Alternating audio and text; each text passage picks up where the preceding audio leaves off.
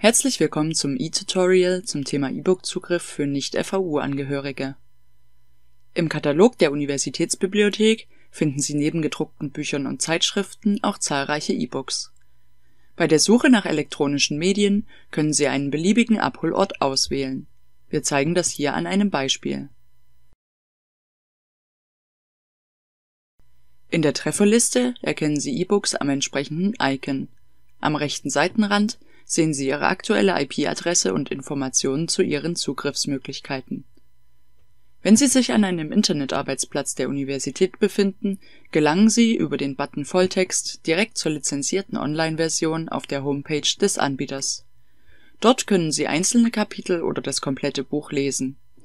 In den meisten Fällen ist auch ein Download möglich ob der Zugriff von außerhalb der Bibliotheksräume möglich ist, hängt von der Lizenzvereinbarung ab, die die Bibliothek mit dem Anbieter getroffen hat.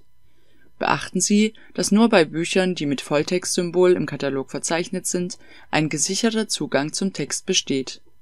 Nicht immer ist das gesamte Verlagsprogramm zugänglich.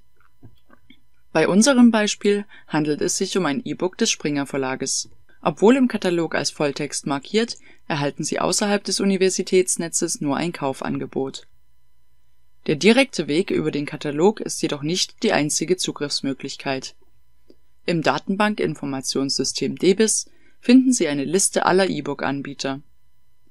Mit dem gelben E sind alle Anbieter markiert, die einen externen Zugang gestatten.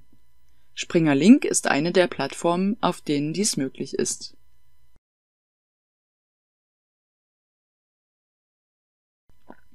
Die Detailansicht bietet Ihnen nun neben dem regulären Link auch eine alternative Start-URL für den externen Zugriff. Hier können Sie sich mit der Eingabe Ihrer Bibliotheksnummer und Ihres Passwortes identifizieren und erhalten Zugang zum Angebot elektronischer Bücher. Haben Sie sich den gewünschten Buchtitel gemerkt?